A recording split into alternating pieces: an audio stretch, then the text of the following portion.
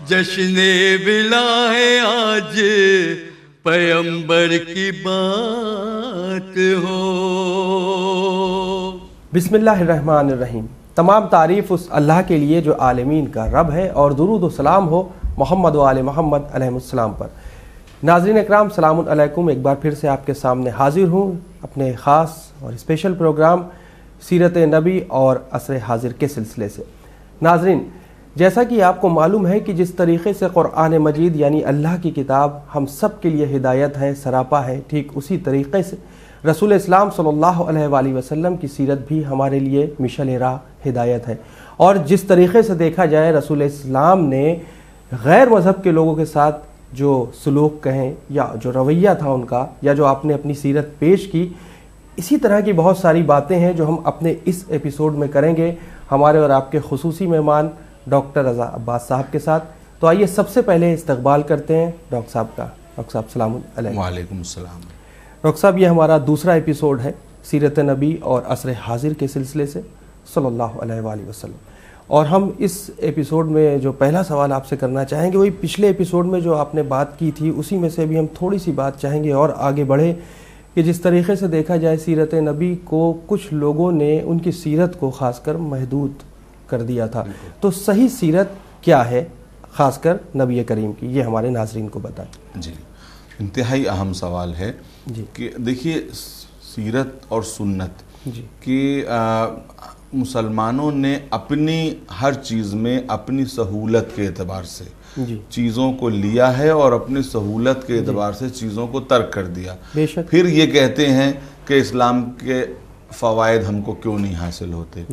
देखिए कुरान के ताल्लुक से भी हमने अपनी सहूलत के हिसाब से मामला सेट कर लिए हैं। इवन तोहीद के एतबार से भी। और वही काम हमने सीरत पैगंबर के लिए किया। मसलन कुरान को अपनी सहूलत के हिसाब से क्या? कुरान में कैसी कैसी बातें बड़े उसूल गीबत के बारे में कैसी कैसी बातें कम तोलने के बारे में कैसी कैसी बातें कम नापने के बारे में कैसी कैसी बातें अपने भाइयों से सलूक के बारे में कैसी कैसी बातें माँ बाप के एहतराम में कैसी कैसी बातें कि उनके सामने जाओ तो अपने कंधे को झुका दो। तो अब इतनी चीज़ें तो हम ये सब तो हम कर नहीं सकते। तो कहा कि अब क्या करें? कहा अपनी सहूलत के अतबार से बस इसको चूमते रहो इसका एहतराम करते रहो। जुजदान में रख दो बुलंदी पर रख दो उसको चूम लो और कुछ ख़ास चीज़ों में ख़ास मौक़ों पे इस्तेमाल करो। वो तमाम मौके वो हैं जो मौत से बीमारी से बेहोशी से ताल्लुक़ रखते हैं। सेहत की हालत में ज़िंदगी की अलामत की हालत में कुरान की तरफ़ रुजू ना करो है ना? ये हमने कुरान हमको अपनी तरफ़ उठाना चाहता था हमने उसे नीचे घसीट लिया। उसी तरीके से उसी तरीके से अब हम रसूल की सीरत और सुन्नत की तरफ़ आते हैं। क्या मुसलमानों का इत्र लगा लेना सुन्नत नबवी के लिए काफ़ी है इत्र लगा लगा लिया हमने कहा क्या कर रहे हैं? कहा सुन्नत है। अच्छा जो है वो मिसवाक कर रहे हैं दा, दातून कर रहे हैं और कहा कि भाई क्या है? कहा साहब सुन्नत है। इसी तरीके से जुमे के दिन गसल कर लिया साहब ये क्या कर रहे हैं? साहब सुन्नत है। ठीक है बहुत बेहतर बहुत अच्छा। मगर मेरा अ, मेरा दिल चाहता है कि मोहम्मत मुस्लिमा से हाथ जोड़ के सवाल करूँ कि क्या सिर्फ़ यही सुन्नत है या कुछ और भी सुन्नतें हैं? तो है क्या कि अपनी सहूलत के अतबार से उन सुन्नतों को हमने अपनाया जिसमें हमें कोई प्रॉब्लम नहीं है? और अच्छा किसके लिए कोई कोई हमें जो है वो अ, हमें जहमत ना होने पाए बिल्कुल, है ना? सही और उसके असल सुन्नत क्या थी? अब चलिए मैं असल सुन्नत यूँ शुरू करता हूँ। सबसे पहली सुन्नत तो ये थी कि आप इल्म का उजाला पूरे समाज में फैलाएँ कि आपने ये किया। उससे बड़ी सुन्नत ये थी कि अदल इज्तमाही समाज में अदल इंसाफ का क्याम हो जाए क्या आपने ये किया। उससे बड़ी सुन्नत क्या थी? कि साहबा कहते थे कि पैगंबर ने पड़ोसियों का इतना ख्याल रखने की जो है वो ताकीद की है कि हम समझते थे कि रसूल अल्लाह बस अब पड़ोसियों को मीरास में हिस्सा दिलवाने वाले हैं बिल्कुल। तो क्या अच्छा अब वालदेन के लिए जो कुछ पैगंबर ने कहा अकरबा के लिए जो कुछ पैगंबर ने कहा क्या हम ये सब कर रहे हैं? पैगंबर का सलूक अपनी बीवियों के साथ कैसा था? क्या हम ये सब कर रहे हैं? मालूम ये हुआ कि कौन इन सब मुसीबतों में पड़े? अच्छा आप सुन्नत का इनकार तो कर नहीं सकते। तो कहा कि सुन्नत ही को नीचे खींच लो। सुन्नत हमें बुलंदी की तरफ़ ले जाना चाहती थी हमने उसे अपनी तरफ़ से खींच मैं दो जुमलों में ये बात कह दूँ कि देखिए ऑन रिकॉर्ड रहे कि यही हमने तौहीद के साथ ये सुलूक किया। खुदा अपने बंदे को क्या बनाना चाहता है? खुदा अपने बंदे को ये बनाना चाहता है कि जो सिफात हमारे अंदर हैं वो सिफात उन सिफात का अक्स मेरे बंदे में आ जाए। अगर हम रहीम हैं तो वो रहम वाला हो। अगर हम अलीम हैं इल्म वाला हो इल्म वाला। हम कुदरत वाले हैं इनके अंदर भी कुदरत हो। हम जो है वो दूसरों के राज छुपाने वाले हैं तो मेरा बंदा भी राज छुपाने वाला हो। अब बंदों ने क्या किया कि बंदों ने सोचा भाई इतनी बुलंद बातें तो हमारे बस में है नहीं। बिल्कुल। तो हमने खुदा हमको हमारे जैसा अपने जैसा बनाना चाहता था। हमने उसको अपने जैसा बनाने की कोशिशें कर दी। हमने जो तस्वुर तौहीद गढ़ा वो ऐसा कि वो बात बात पे नाराज़ होता है बात बात पे इंतकाम लेता है जैसे हम एक दूसरे से इंतकाम लिया करते हैं। तो हमारा रब ऐसा नहीं है। वो तो रहम करने वाला करम करने वाला पूरी दुनिया को चलाने वाला। तो मामला ये होता है कि दुनिया में हमेशा मज़हब के आइडियल के उसूल और अवाम में एक टसल होती है कि आइडियल बहुत बुलंद होते हैं। अवाम ये सोचती है इतनी बुलंदी तक कौन जाए उसमें बड़ी जहमत है। उसको नीचे ले आया जाए और उसको उसको महदूद काहे में कर दिया जाए? इत्र लगाने में। इत्र लगाने से किसी को इनकार नहीं है। इस जो है वो मंजन करने में दांत मांजने में उससे भी किसी को इनकार नहीं है बिल्कुल। और ये जो ये जो मिसवाक है ये तो बहुत बुलंद चीज़ है। इससे पता चलता है कि हमारे नबी आज दुनिया कह रही है डेंटल हाइजीन और उसके ऊपर कितनी ज़बरदस्त बातें हो रही हैं। और तेरह सौ साल हाँ। पहले हमारे नबी ने इतनी ताकीद की है कि साहबा कहते हैं कि हमें ये हो गया था यकीन हो गया था कि शायद अब हर नमाज़ से पहले वज़ू से पहले मिसवाक वाजिब हो जाएगी। ये इतना इतना। यानी सफ़ाई के लिए इतनी जो थी लेकिन ये ताकीद जो सफ़ाई के लिए थी अब इस इसका असली पॉइंट क्या है? असली पॉइंट ये है मेरे दोस्तों कि ए सुन्नत रसूल में कुछ चीज़ें ऐसी हैं जिनके साथ जालिम हुकूमतें चल सकती हैं और कुछ ऐसी हैं जिनके साथ जालिम हुकूमतें नहीं चल सकती। तो जालिम हुकूमतों ने उन्हीं चीज़ों को लिया कि जिनके साथ ये कि खुशबू भी लगती रहे और मिसवाक भी होती रहे और बंदों पर जुल्म भी होता रहे। बहुत अच्छी है बात ना? आपने कहीं ऐसा तो नहीं असल सुन्नत के साथ ना तो वलीद जो है वो बैठ सकते हैं ना यजीद बैठ सकते हैं ना पलीद बैठ सकते हैं। तो इन सब इन लोगों ने क्या किया कि असल सुन्नत नबी को कुर्बान करो और चंद जो है वो बिल्कुल महदूद चीज़ों को अपना लो जिससे कि जो है वो लगे कि दुनिया भी हाथ से न जाने पाए और दीन भी से बहुत अच्छी बात कही। अच्छा डॉक्टर साहब, हमारी कोशिश ये रहती है, जो सवालात हमारे पास आते हैं कि हम उनको, सारे सवालों को जल्दी जल्दी कर लें, क्योंकि बहुत कम टाइम के एपिसोड्स होते हैं। जिस तरीके से देखें हम आजकल, अक्सर लोगों में, ख़ासकर मुसलमानों में, ये दिमागों में रहता है कि जो ऐलान नबूवत से जो पहले की ज़िंदगी है यानी सीरत पर अगर गौर करें रसूल इस्लाम की तो उनके 40 साल के बाद की ज़िंदगी यानी सीरत पर बहुत ज़ोर दिया जाता है और पहले की सीरत जो थी उनके 40 साल के पहले की उस पर ज़ोर नहीं दिया जाता। यानी बेसत से पहले और बेसत के बाद में ज़ोर ज़्यादा दिया जाता है। तो इसके बारे में हमारे खासकर नाजरीन को बताएँ। इसमें अ, मैं ये समझता हूँ कि इस तरह से पैगंबर की ज़िंदगी को बांटना ही गलत है। बल्कि ये बिल्कुल ज़िंदगियाँ ऐसी हैं जैसे कोई किसान अपना बीज बोने के लिए ज़मीन तैयार करता है। पैगंबर इस्लाम की बेसत से पहले की ज़िंदगी वैसी ही है जैसे कोई किसान अपना बीज बोने के लिए ज़मीन तैयार करता है। तो पैगंबर वो ज़मीन तैयार कर रहे हैं। अगर आप ज़मीन तैयार ना करें और बीज डाल दें तो क्या होगा कि वो बीज भी ज़ाया हो जाएँगे और इसको परिंदे चर लेंगे चुग लेंगे और कुछ हासिल नहीं होगा। तो पैगंबर उससे पहले ज़मीन तैयार कर रहे थे ज़मीन हमवार कर रहे थे।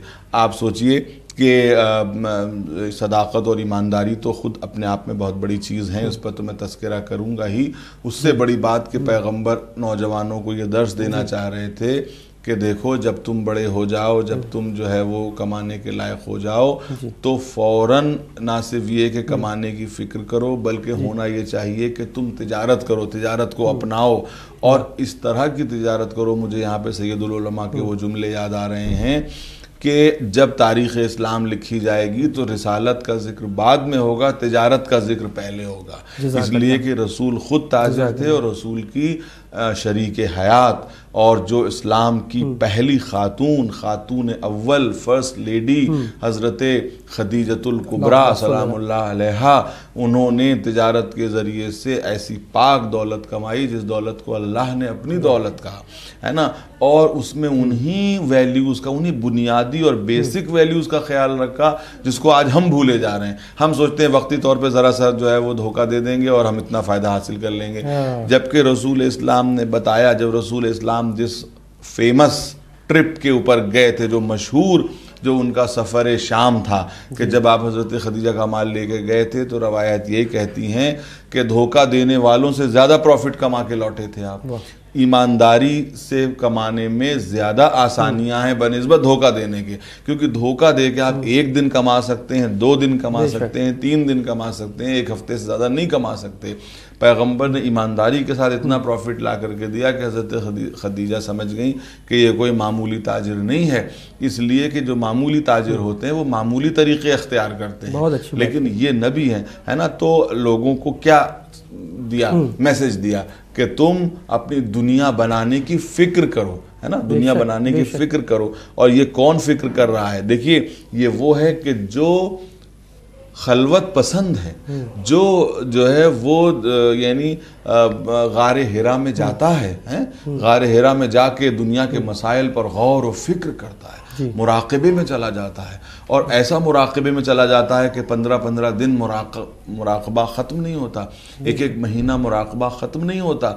ये वही है कि जो जब लॉ लगाता है दुनिया के मसाइल में और दुनिया यानी अपने रब से जब लॉ लगाता है तो अपने तन बदन की सुध नहीं रहती। बेशक, बहुत है ना? अच्छी बात। लेकिन जब दुनिया में आता है तो तजारत का माल लेकर के शाम जाता है ताकि वहाँ से ईमानदारी के साथ लेकर के आए और उससे अपनी ज़िंदगी को चलाए।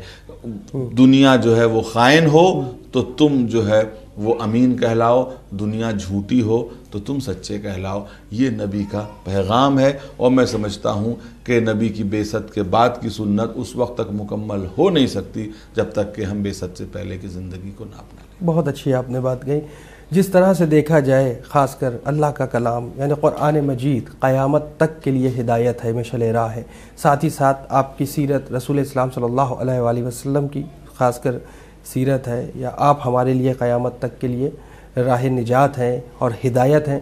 ज़ाहरी तौर पर देखा जाए, अगर कि क़ुरान मजीद तो हमारी आँखों के सामने है, लेकिन हज़रत रसूल खुदा सल्लल्लाहु अलैहि वसल्लम हमारे बीच में है, लेकिन हमें नज़र नहीं आ रहा है, हमारे बीच में। लेकिन अगर हम क़यामत तक की ज़िंदगी देखें, यानी क़यामत, आपकी ज़िंदगी के बाद से क़यामत तक की ज़िंदगी में हम किस तरीके से आपकी सीरत को अपना कर सही राह अपना सकते हैं। देखिए हम इस इसमें यही कहना चाहेंगे बुनियादी तौर पर कि जैसे कुरान की आयतें क़यामत तक के लिए हैं उसी तरह से पैगंबर की ज़िंदगी का एक एक वाक़या आयत कुरान की तरह है। उस जैसे जैसे ज़माना तब्दील होगा उसमें नए नए मानी पैदा होंगे। अच्छा नए नए मानी पैदा होंगे। अच्छा। कुरान कहता है व इज़ल मऊदत सुएलत बे जम्बिन कुतिलत। कि उस दिन हम बेटी से सवाल करेंगे कि उसे किस जुर्म में कत्ल किया गया। तो अब इसकी तफसीर क्या हो सकती है? भाई मुफसरीन जो शुरू के मुफसरीन है वो कहते हैं कि अरबों को कहा गया है कि वो अरब जो ज़मीन में अपनी बेटियों को दफन कर देते थे। लेकिन जब ज़माना पलटा तो एक नए हालात पैदा हुए। कि साहब बेटियों को नए नए तरीके से मारा जाने लगा।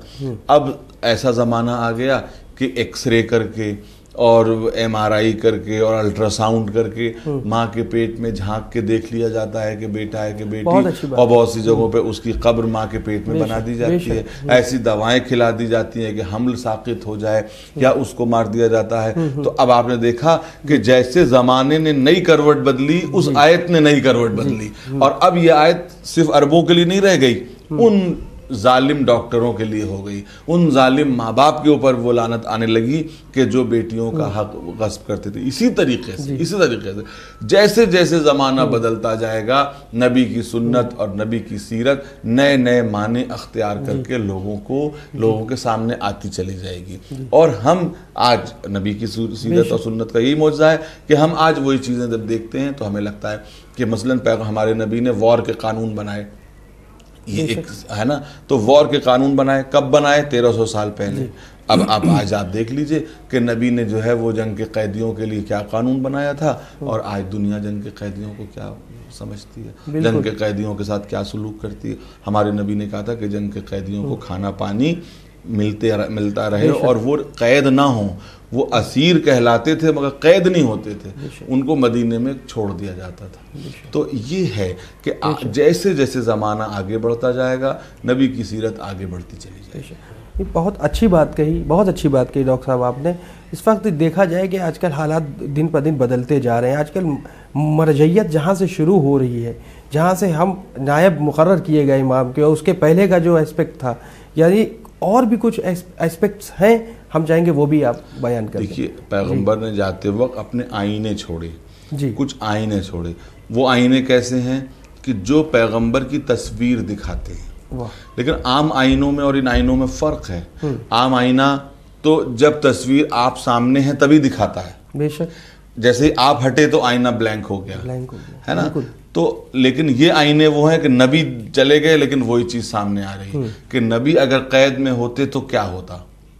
एक नबी का हम्म। जानशीन ये करके दिखा देगा। फिर आईने की एक प्रॉब्लम ये है कि जो आप हैं वो वही आईना दिखा सकता है। वाह। नबी के आईने ऐसे नहीं है कि नबी जो हैं वो दिखा दे। बल्कि नबी के आईने वो हैं जो ये दिखाते हैं कि अगर नबी यहाँ पे होते तो क्या करते? वो करके दिखा दे बहुत इमाम हुसैन ने मैदान करबला में आके ये दिखा दिया कि अगर नबी होते तो क्या करते? नबी मैदान जंग में आते तो क्या करते? है ना? तो इस तरह से जो है वो आई।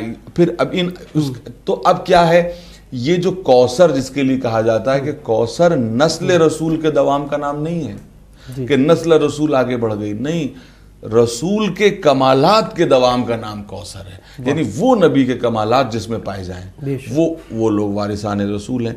तो ये ए, एक तो इस तरह से जो है वो नबी की सीरत आगे बढ़ी। फिर उसके बाद ये है कि ओलमा जो। नबी के अकवाल के ज़रिए से इश्तहाद करके बताएँगे कि नबी की सीरत और नबी की सुन्नत की रोशनी में आज के ये मसाइल का ये हल है। तो ये तो नबी की सीरत इसी तरह से आगे बढ़ती हम्म। रहेगी कंटिन्यूएशन होता रहेगा रोज़ क़यामत। बहुत अच्छी बात। प्रॉफिट मोहम्मद सल्लल्लाहु अलैहि वसल्लम ने काफ़ी अरसा गैर मुस्लिम के साथ गुजारा है।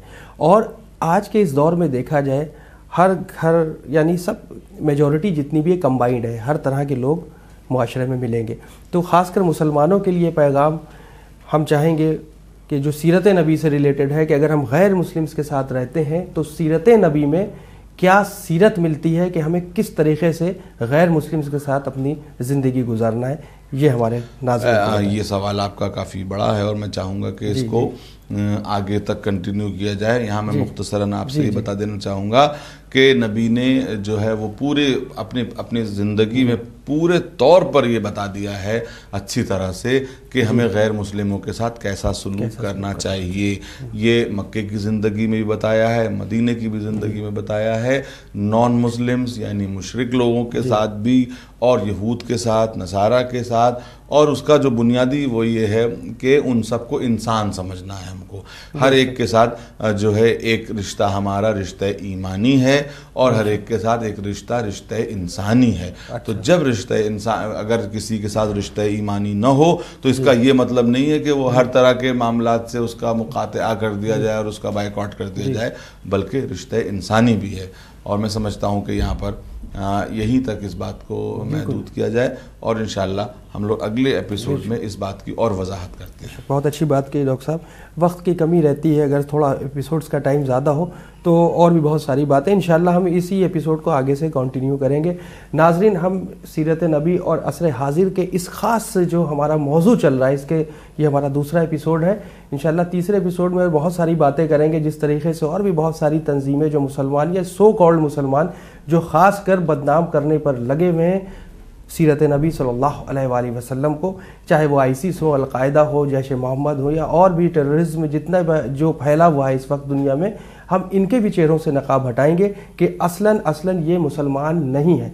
और हम अपने अगले एपिसोड में और भी बहुत सारे सवाल लेकर हाजिर होंगे, जिसके जवाब देने के लिए हमारे साथ मौजूद रहेंगे। डॉक्टर अजाब बादशाह, फ़िलहाल शुक्रिया, खुदा हाफिज़।